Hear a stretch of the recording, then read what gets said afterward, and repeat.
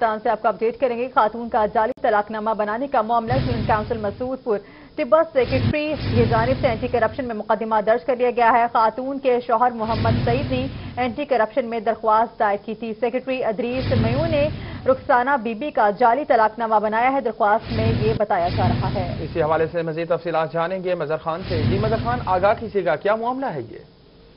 جی بالکل، یہ ٹبا مسعود پور ہے، ملتان کا نواحی علاقہ، جہاں کے رہائشی محمد سعید نے اینٹی کرپشن کو درخواست دی تھی کہ جو یونین کونسل ہے مسعود پور ٹبا اس کے سیکٹری ادریس میو نے اس کی جو اہلیہ ہیں، رخسانہ بی بی، اس کا جعلی طلاق نامہ بنایا اور اس درخواست پر اینٹی کرپشن حکام نے انکوائری شروع کی اور اس انکوائری میں جو فریقین ہیں، وہ اپنے، انہوں نے اپنے بیانات قلم بند کروائے، جس کے بعد جو اینٹی کرپشن حکام ہے، ان کے مطابق جو ادریس میں ہے، اس کی جال سازی ثابت ہوئی اور اس لیے ہی اینٹی کرپشن نے اب جو ادریس میو ہے، یونین کونسل مسعود پوٹبا کے سیکٹری، اس کے خلاف باقاعدہ مقدمہ درج کر لیا ہے۔ اینٹی کرپشن حکام کا کہنا ہے کہ ٹیمیں بنا دی گئی ہیں جو ادریس میو کو جلد گرفتار بھی کر لیں گی۔ جلد گرفتار کر لیا جائے گا۔ شکریہ مسر آپ کا۔